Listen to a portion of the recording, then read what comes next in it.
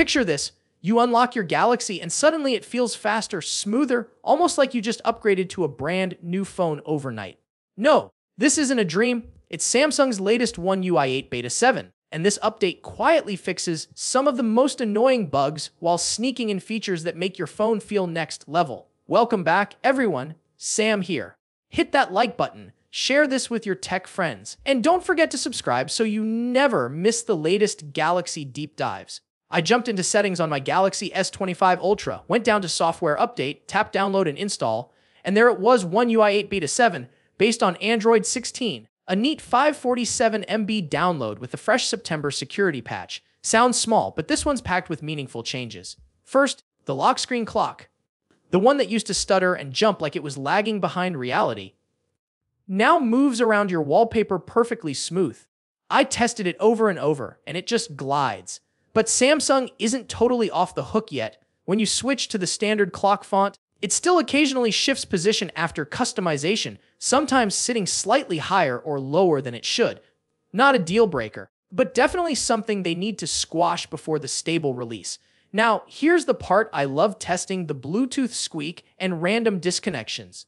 Completely gone. I blasted music, took calls, switched between earbuds and speakers. Zero issues. If you've been annoyed by this bug, you're going to notice the difference immediately. Samsung also cleaned up some smaller annoyances. The stretch font bug, fixed. The super thin text on the status bar and pan screen, back to normal. The quick execution icons on the lock screen that sometimes disappeared, they stay put now. And animations across the system feel snappier and more polished, like the whole phone got a smoothness upgrade. And this isn't just about pretty visuals that September's security patch is loaded with high severity and critical fixes, so your phone is not just faster, it's safer too. But here's where it gets exciting. This is the last stretch before Samsung rolls out the stable One UI 8 update. They've confirmed Galaxy S24 Plus users will start getting it this month, with most other devices getting it between October and November. So we are literally just weeks away from the final, polished experience and you're going to notice more than just bug fixes.